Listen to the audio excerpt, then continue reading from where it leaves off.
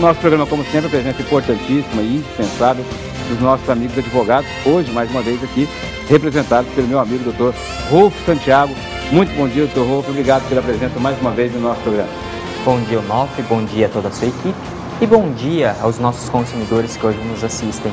E obrigado, Onofre, mais uma vez pelo convite de estar aqui participando com vocês. Nós é que agradecemos, doutor Rolfo, ao senhor e em seu nome queremos agradecer a todos os nossos amigos advogados que tanto têm colaborado aqui com o nosso programa e nesta luta, nessa batalha na defesa do consumidor, na busca do equilíbrio nas relações de consumo. É, também aqui a participação do nosso amigo internauta Henrique José de Andrade Silva, meu amigo Henrique. Ele diz, olá amigo nosso, quero parabenizar a você pelo brilhante site, né, pelos programas de TV que tem feito e parabéns por essa luta. Um abraço para o seu amigo Henrique. Obrigado, Henrique. Obrigado pela felicitação. Obrigado por acessar o www.cidadãoconsumidor.com. E a dona Ludmila reclama de serviços prestados com má qualidade pelo DPU. Ela diz, bom dia, não. bom dia, dona Ludmila. É, eu gostaria de fazer uma reclamação de um serviço prestado pela Defensoria Pública da União, a DPU. Tem mais de cinco meses que procurei a Defensoria Pública da União para entrar com mandado de segurança devido ao erro de classificação no concurso do IBGE realizado esse ano. Até o momento, o meu processo está parado por não saberem de quem é a competência, se é da DPU de Mato Grosso ou do Rio de Janeiro, sendo que já houve nomeação nesse concurso. Falaram muito do que aconteceu no Enem, mas esse concurso do IBGE, que teve esse erro gravíssimo da forma da classificação, não só no meu caso, mas muitos outros casos no Brasil. Muito no Enem, mas muitas vezes tem muitos outros concursos e só porque envolve um número menor de pessoas, acabam não tendo a repercussão da mídia nacional ou mesmo da, da mídia regional e essas pessoas acabam sendo prejudicadas e ninguém faz nada para defendê-las. Quando entra com a justiça, o processo fica parado porque não sabe nem sequer de quem é a competência. Parece que fazem vistas grossas justamente para não garantir o direito da pessoa. Isso aqui trata-se de uma relação de consumo, porque a pessoa paga para fazer a inscrição, não é isso, doutor Rô? Com certeza, Onofre. E na verdade, Onofre, se esse processo já está parado há cinco meses, o prazo da nossa colega que participou do programa, ele está praticamente esgotado, se já não se esgotou.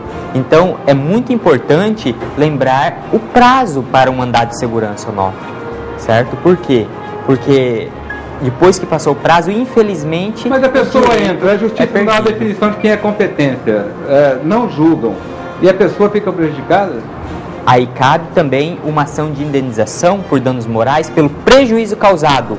E quem causou esse prejuízo, Onofre? O Ministério Público da União, infelizmente. É. Da dona Clarinda. Dona Clarinda está reclamando aqui da Secretaria de Infraestrutura, dizendo que estão fazendo asfalto lá no bairro dela. Só que Estão tapando todo o esgoto, segundo ela. Né? E aí ela foi reclamar lá com o rapaz, o rapaz falou assim, ó, depois só se vira com essa água aí da pia, com a água do banheiro, faz fossa aí, só dá um jeito aí, porque é, a gente está fazendo aqui o nosso trabalho. Será que está correto isso? Né? Tapando, está tapando toda a galeria de água, de rede fluvial, do esgoto. É uma denúncia séria lá no bairro Ouro Fino, tá? Importante a Secretaria de Infraestrutura, o secretário, o novo secretário Paulo Borges Júnior, dar uma averiguada em loco lá, né, levar uma equipe lá e verificar se esse trabalho que está sendo realizado por essa consultora está correto, está dentro do projeto, porque eu duvido que um projeto autorize, né, vir com asfalto e tapar todo o esgoto, acabar com as redes e tirar o esgoto de quem já tem, né, doutor? E na verdade, Malfi, é um absurdo, por quê? Porque depois esse esgoto vai ter que ser refeito essa rede. É. Tá? Então você vai ter, você está tendo um gasto para desmanchar o que está sendo, o que já existia e depois vai ter um outro gasto para estragar o asfalto, fazer uma nova rede e refazer o asfalto. Então o absurdo chegou aí a um ponto que é incalculável, não, não, não. É verdade. Mas pode ficar tranquilo, dona Clarinda, que a gente vai passar essa sua reclamação, essa sua denúncia à Secretaria de Infraestrutura, tá ok? Reclamando. Essa aqui é a minha amiga Dona Maria Rosa dos Santos, lá do Alto da Serra, né, Dona Maria? Lá da Serra. O que está acontecendo, Dona Maria? Parece que a Senecap não envia as faturas para a senhora todo mês, a senhora não, tem que sair lá do bairro e vir aqui. Vir buscar. Todo sábado mês tem que buscar. Aí quando você vem, tem uma porção de fatura. É, de fatura de eu pagar. Aí você tem que pagar tudo de uma vez. Pagar tudo de uma vez. Agora mesmo tem cinco de eu pagar. E a água? Tem água no bairro? Não tem, não tem água. E vai o dia que eles querem. O dia que eles quiserem mandar, vai. E o que, que eles dizem? Qual que é o problema? Eu não sei. Por que, que não chega a fatura? Sua casa é difícil acesso? Como é que não, é? não é difícil não. Faz o seguinte, vamos entrar com a gente lá e vamos encaminhar a sua reclamação direto à presidência e vamos esperar dele a posição. Tá? O senhor acompanha a gente lá. E, presidente, eu vou aproveitar, se o senhor me permitir, e passar aqui às suas mãos as últimas reclamações, são bastante, olha só, cada uma dessa ficha aqui, né? As últimas reclamações é, de moradores da cidade. Aqui tem reclamações com relação à, à fatura, pessoas que não concordam com a fatura. É, há reclamações aqui de falta da emissão da fatura, a fatura não chega na casa das pessoas, mas principalmente, sobretudo, problemas de falta de água. Em especial, nós temos aqui né, um, um caso sério, que é a população lá do bairro Serra Dourada, né, que é um bairro realmente difícil. Só isso aqui, ó, só do Serra Dourada, para o senhor ter uma ideia. Tá?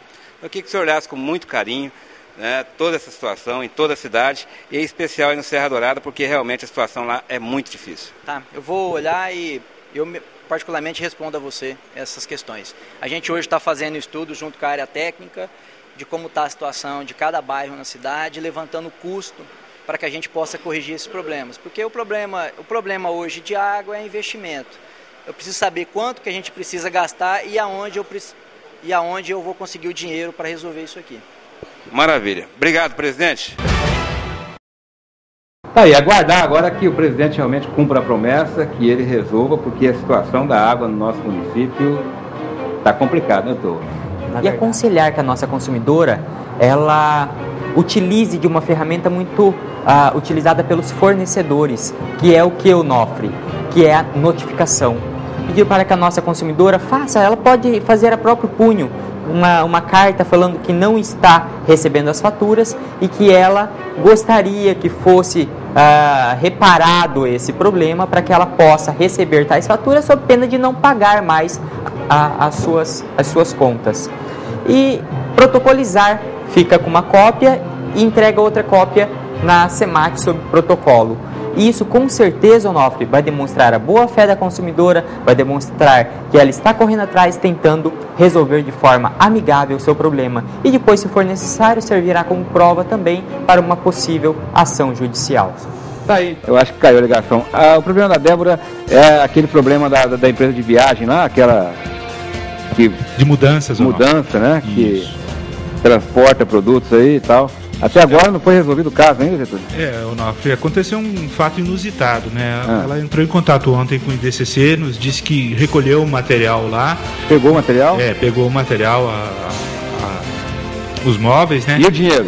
Não, o dinheiro, segundo ela, o cidadão lá em questão, o seu Sérgio, disse uhum. que havia assinado com você um documento autorizando ele a fazer o pagamento daqui 10 dias. Ah, é? Eu desconheço essa informação. Ué, eu agora sou algum órgão, sou. O que que eu sou? A pessoa assinar documento comigo. É mentira, viu, Sérgio? Feio ficar mentindo assim, hein, rapaz? Muito feio. Assinou documento. E a, a, preocupação da dona Débora, Onofre, é que ela esteve lá e parece que o depósito está esvaziando com uma certa rapidez. Ela está com medo que esse cidadão suma, né? É. Faz o seguinte. É... Deixa. A gente vai tomar providência, tá? Não vou falar nada não, porque senão a gente vai assustar o pessoal aí. Deixa quieto. Obrigado mais uma vez e um abraço aos nossos consumidores. a gente vai ficando por aqui, daqui a pouquinho a gente está de volta com o programa Comunidade com o Onofre Júnior. Não saia daí, eu aguardo você.